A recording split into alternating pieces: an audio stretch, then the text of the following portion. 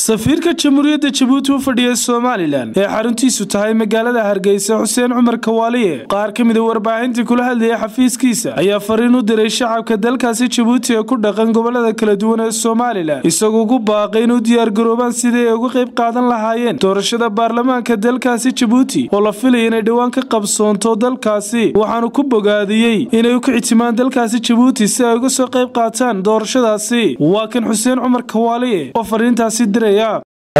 waxaan xaggan maanta baaq uga dirayaa shicib weynaha reer jabuutiya ku nool somalilan milowya cadde ilaa ceerigaabo degan waxaan ka leeyahay waxaa bilaamaya oo loo dareeri doonaa codkii foodka baarlamaga bisha labaad sanadka ee fevriye saddex iyo labaatankeega waxaan ka codsanayaa si sharaf leh oo walaaltinimo oo wadaninimo ah inay dadka reer jabuuti ay warqadahoogii foodka kaararkoogii foodka doontaan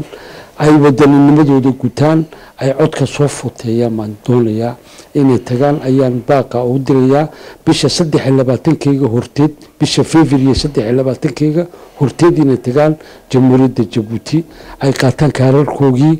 ay codkoogana maalintaa saddex labaatankooga ay dhiibtaan baan rabaa ay gutaan wadanninimadooda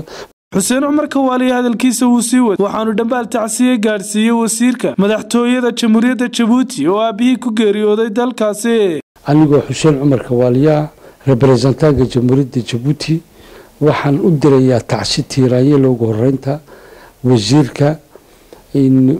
wasiirka madaxtooyada ee jamhuuriyadda jabuuti mudane cali geelle abubakar oo aabihii geeriyooday ayaan u dirayaa tacsi tiiraanyale aabihii anigii iyo shaqaalaha safaaraddu innaa lilaahi wa innaa ilaahi raajicuun. Waxaan leenahay samir iyo iimaan intuu ka baxay iyo wasiirkaba